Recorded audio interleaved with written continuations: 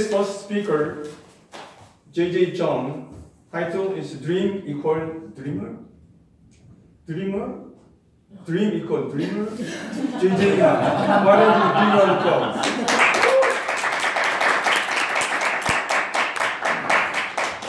Once upon a time, in China, there's a man who was walking oh, miles and miles and miles and miles walking. And he's got tired and exhausted. And he needed some water and rest.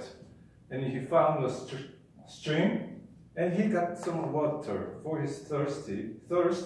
And then he find, found a shade under a tree.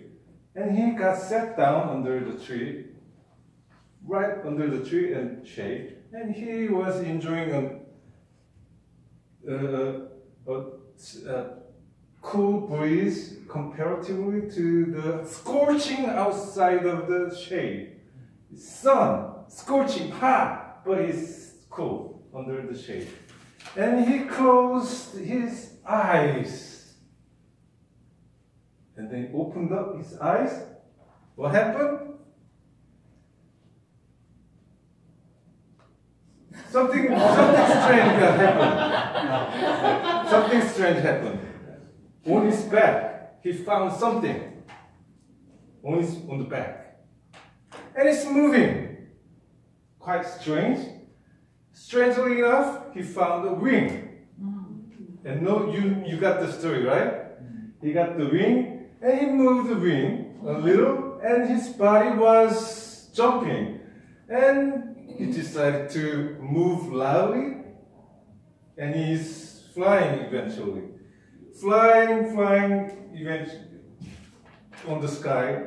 And he was watching a grass down, and some flowers, and something, something under his feet.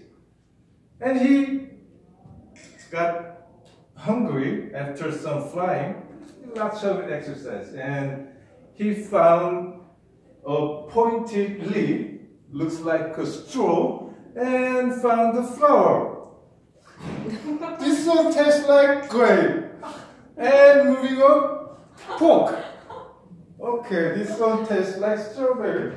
And moving on, and then he found something bigger over there curious enough to move his uh, wings, and then he approached. And there was tree. Under the tree, there's a nasty, uh, stinky man was lying. And quite enough approached near, and he found himself lying there. And again he's surprised opened up his eyes, and then he found a small butterflies flying by. Now, Toastmasters and members and guests, have you ever questioned this? You know this story already, right? Have you questioned what is dream? What kind of dream like this? And you may experience already like this, don't you? And second dream story I'd like to deliver today is uh, based on a real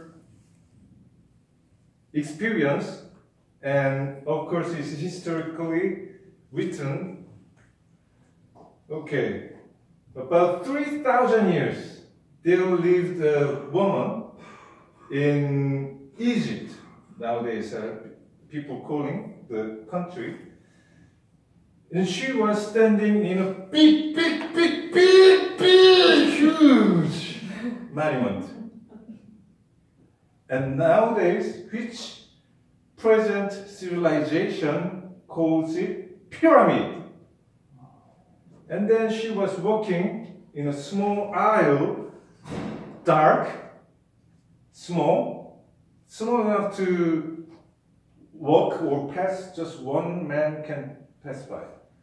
And through the aisle, he, she reached to a small space like this, and there was a tube like bathing tube but it's not quite bathing. It's coffin. You know, dead people go in, and there is a cover, and you're gone. But around here, people are sitting, they make some sound, low vibration, but it's clear and clear and deep sound. It's not like negative, but feels like some vibration, like uh, lifting up something. And then she was requested to go into the coffin, and then she lied down, and cover was on, and darkness everywhere, and she cannot move.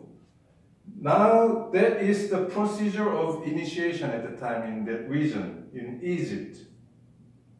Initiation. Then she dreamed about her present life. She was born in Poland and she experienced the World War II. And at that time, she, uh, in, in one, World War II, it was digest, uh, disastrous experience ever experienced. And she has a son, and she has a friend from India doing yoga. And she left a book called Initiation. And her name is Elisabeth Haich. And that is real person in our history. Now, again, back to the dream world. So she was in a 3,000 years ago in Egypt, in the pyramid. And then now she dreamed about her real life in current, or not so much current, but the experiencing the world. Now which one is dream and which one is dreamer?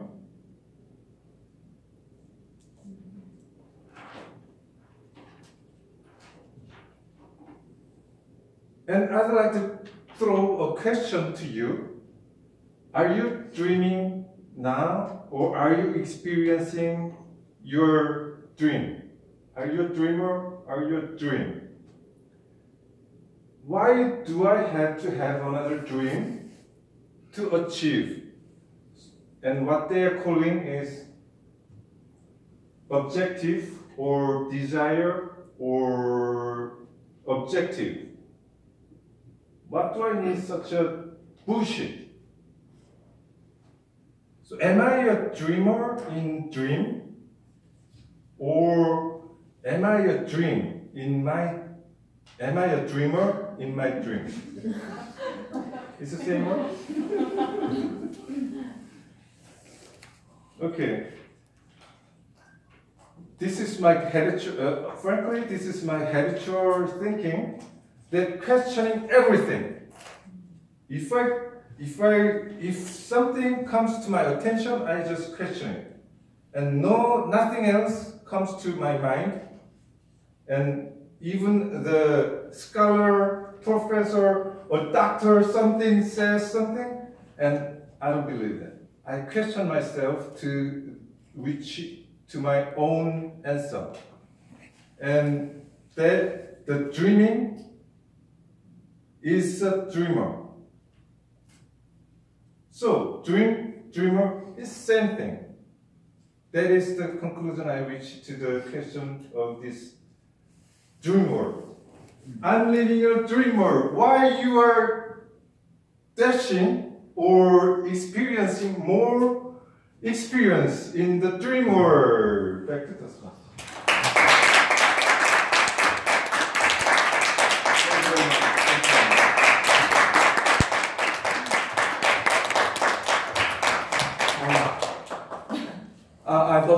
Uh,